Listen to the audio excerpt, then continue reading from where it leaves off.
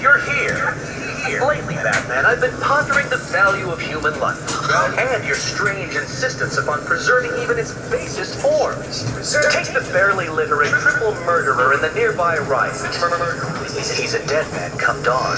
When the microbomb I surreptitiously placed in his brain explodes. My hypothesis is simple. When faced with the task of trying to save one condemned man amongst that gaggle of idiots, even you will give up in despair. Oh, and, and don't knock him out. Knock, knock. What little brain activity he has keeps that cranial combustible from detonating. Combustible detonating.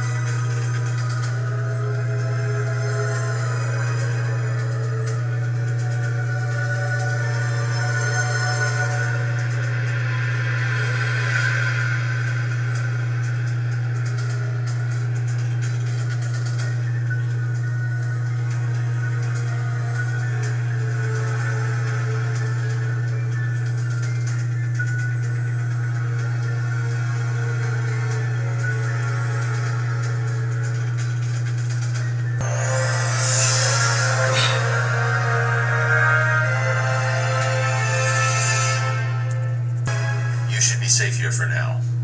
Stay here and keep out of sight. Any chance I could get an exclusive?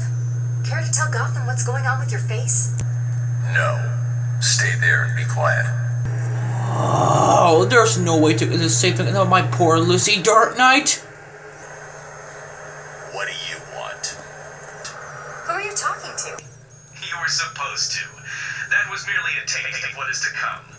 You will regret trying to outsmart me.